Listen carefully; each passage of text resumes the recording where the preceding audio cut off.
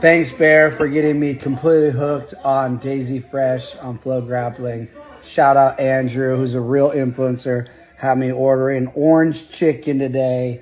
Wow, incredible, Doc. Thank you to everyone involved. I was just so emotional through the journey the Daisy Fresh crew.